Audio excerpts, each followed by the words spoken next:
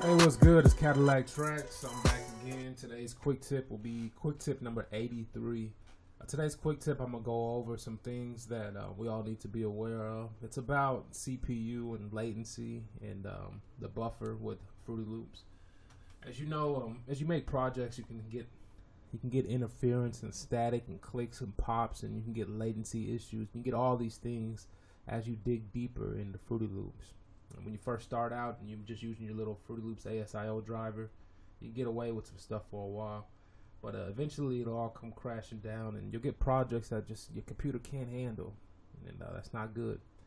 But uh, these are just a few settings here that can improve the, your workflow. You probably already tried these to see if they help or not, but I just wanted to go over them for everybody that's um that's not even aware or taking time to acknowledge them.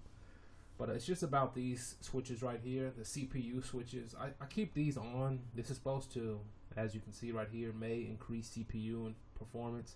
It may and it may not, you know. But um, I keep this on. It's for if you have a processor with more than one core, it can use more than one core to process, you know, information, data, music. Now the same thing with this one too, the multi-threaded mixer processing. Basically, you know, you have a computer.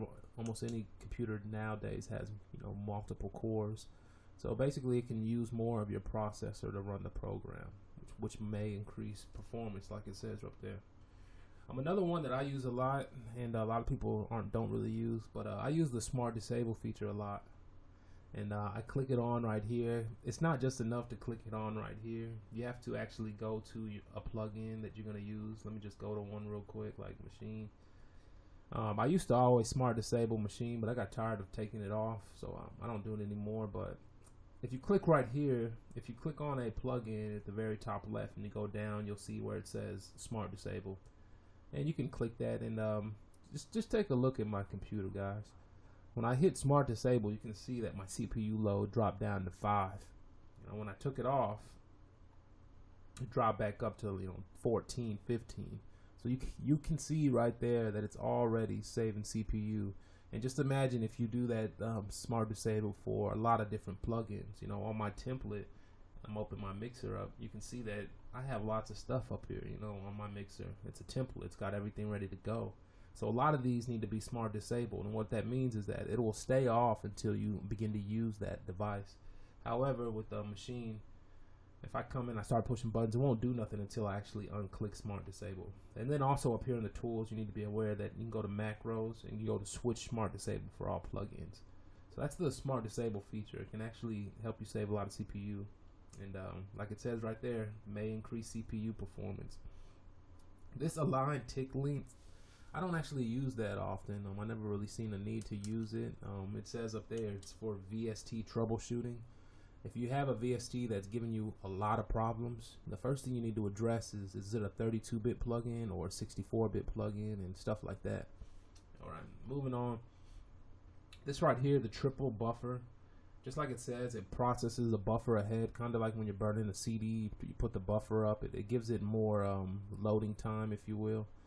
And um, this is one I use a lot, actually. You know, when I start to see pops in my audio, the first thing I'll do is I'll switch the buffer on before I go here to this, you know, to, to, to change the samples or to bring that up or down. The first thing I'll do is I'll switch the mix, the triple and sometimes I'll even do the mix in. This one I haven't really noticed a big difference, but the triple triple buffer definitely you'll notice the difference. Um, if it's popping or it's just starting to pop, it's just starting to get too much. Hit that triple buffer, and most of the time that'll take care of the problem. It'll it'll it'll ride with it.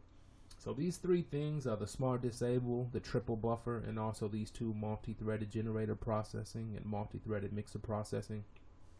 These ones I like to keep on. Um, they help to keep the computer running smoothly. They help so that I can have a low latency and I can also process a lot of audio without the glitches and stuff. So I can go down here to my 64 samples. Then I can uh, run a big project and if it starts to pop or something, I can actually hit the triple buffer and it'll usually cache it. If not, or uh, when I get to the end of a beat, it's usually time to bring the buffer up because I'm not using the keyboard anymore. So I don't need latency response, but I do need to mix the beat without any artifacts or popping. So uh, this is just a quick tip right here. This is Cadillak Trackz. Um, that's about it. I just want to go over the triple buffer and also the smart disable and these two right here. Keeping these selected like this can actually help to bring the CPU load down and help the audio to play without skips and everything. Cadillak Trackz one.